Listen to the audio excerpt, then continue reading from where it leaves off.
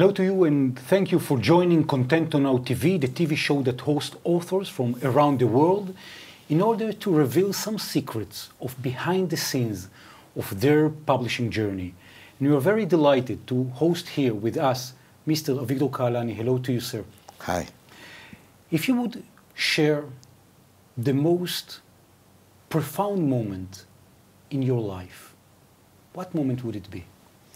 Well, it can be a few, but uh, first is the, the day that I, uh, in 67, I crossed the border in uh, the war, 67 war in Israel. I was the first tank uh, crossing the border, and I lost few tanks, and after that, in the end of the day, I found myself in the hospital, um, badly wounded, and I spent a year in the hospital. Dying alive there.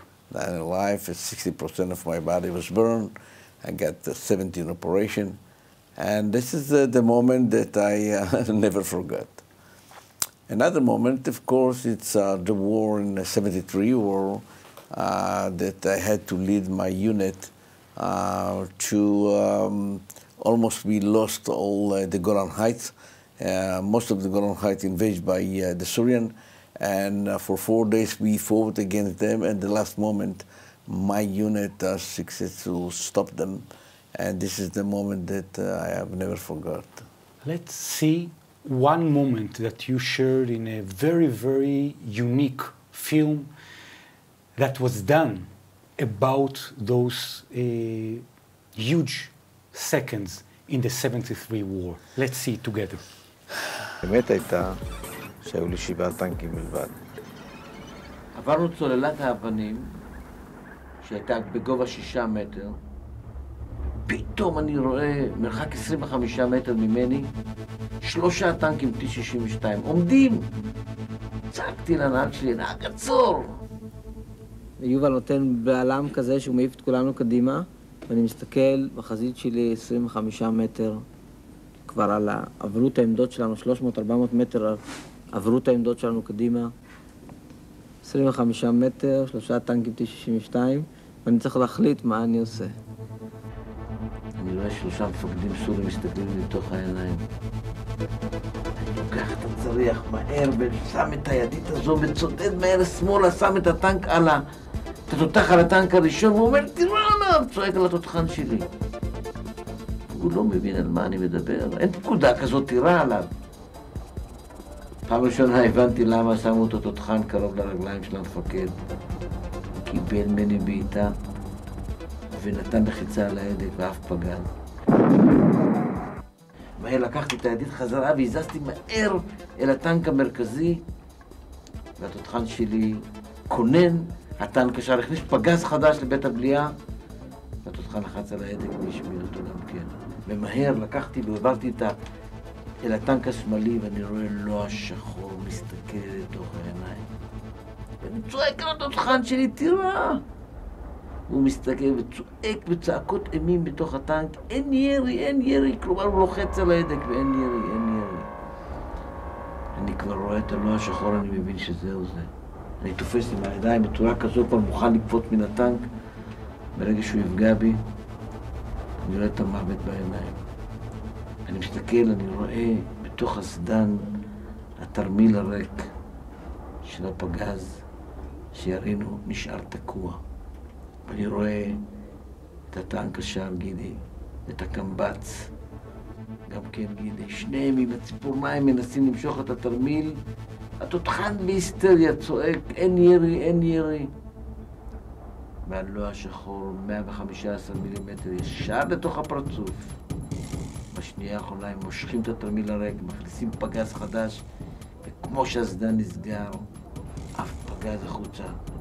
ככה אני נרגע, מנסה להקל, הרגליים שלי רועדות. אני רואה טנק רביעי מסתער עליי, ואני לוקח את הידית הזו, צודד אותו מהר ימינה, מכוון על הטנק הרביעי, והוא לוחץ על ההדק ומשמיד גם אותו.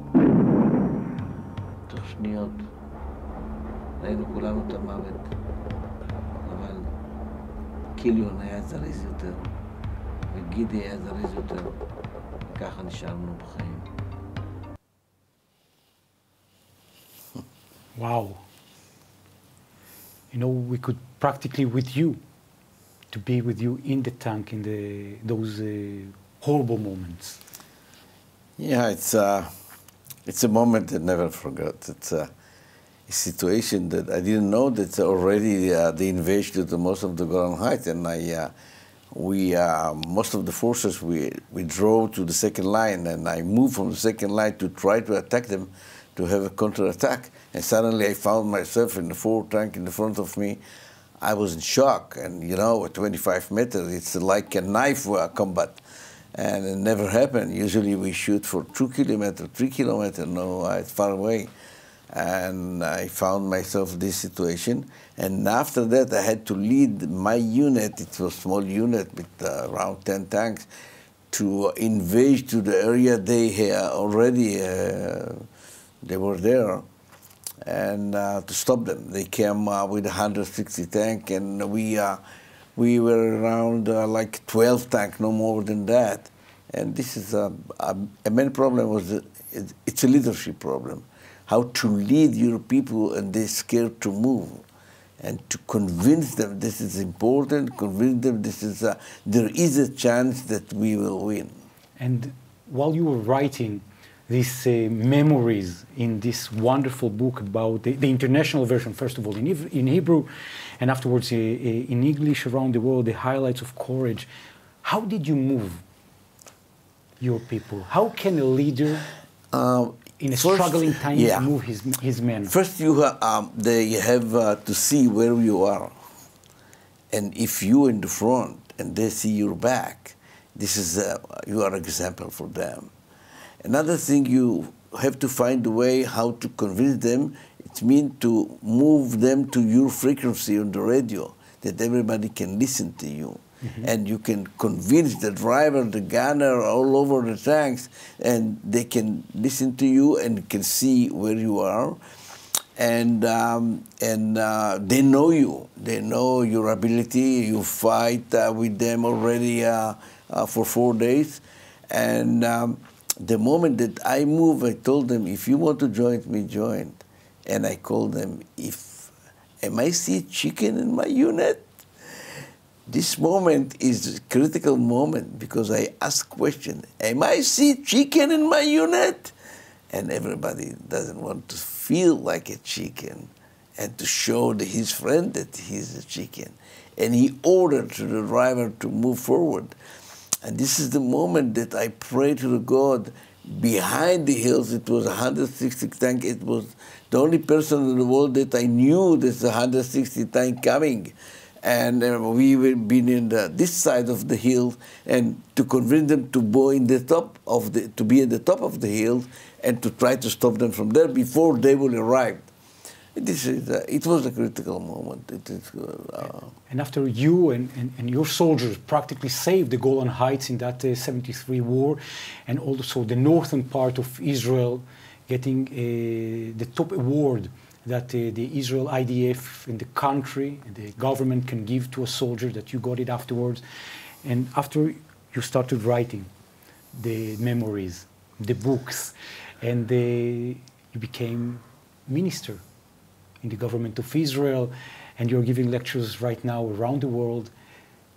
One tool that people that are being hearing your lectures around the world that you could share with them from your experience? Uh, I can tell you that um, this book, I didn't know that I, I know to write, but this is the best bestseller in our country mm-hmm. and uh, sold all over the world.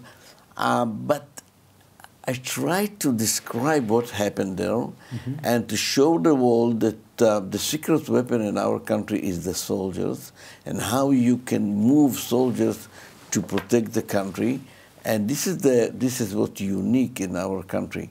The soldiers is the secret weapon and how you can you fight with them convince them to hold the flag of the country, even your enemy come to destroy your country. And this comes from our education. And I had the feeling that I want to share with somebody in our country first, and after that maybe in the world, to share the feeling from the combat, and maybe to salute those soldiers, the, uh, the um, they are not with us until today. And the, the last of all the books that you've been publishing, as you've said, great bestsellers in Israel. Hundreds and thousands of people are reading, are being part of your community in Israel and also worldwide. Also, there is a new book that we'll talk about it in our coming uh, meetings about leadership. Is it the same kind of leadership today that is using the tools that you used in 1973, in 1967, or today a leader should have something else that you are revealing in this book? I tell you, uh, in this book, I try to um, uh, to find the way. What is the formula of leadership? Mm-hmm. And I start with uh, Moses, uh-huh. Rabbi Moses, from uh, that he uh, moved us from uh, Egypt to Israel 40 years. Uh, this kind, this kind of leadership, and King David, mm-hmm. and after that uh, Ben Gurion, and after that people from the industry, people from the army, people how to lead the teacher in the school or rabbi in the, his community. I'm, I'm trying to develop some kind of formula that go from Moses all the way until today. How you stand in the front of people, how to talk with people, how to be professional, to understand what is the formula to lead people. And I give in this book uh, all, uh, all my experience that I, I ask questions, but all my experience I put here and I have uh, of course, a lot of experience. And um, this is uh, maybe if somebody will read this book, mm-hmm. he, he is going to be a politician. If he's going to be a um, commander in the army, he's going to be uh, uh in the industry, or even a uh, um, uh, sport guide. Mm-hmm. He can find in this book some kind of um, advice uh, with, with, how to find the way to, to lead people and to, to bring them to success. Exactly. And this is uh, the sixth book of mine, and I'm very proud about this book. Yes, leadership in the circles of life. Yeah. People that want to learn from a leader how they could lead their life. Yeah. Yes. So, Avigdor Kahalani, I want to thank you very much. You're welcome. And the people that want to be part of your community, that want to uh, get to know more about your books, get to know more about the lecture, just to contact so the social networks or directly in order to be part of your leadership journey. Thank you. Thank you very much, Avigdor Kahalani.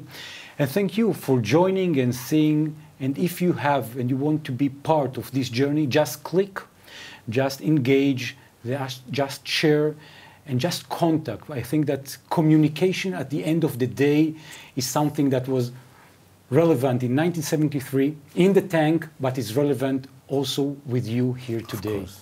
Yes. Thank you very much, and thank you for joining also this episode of Contento Now TV.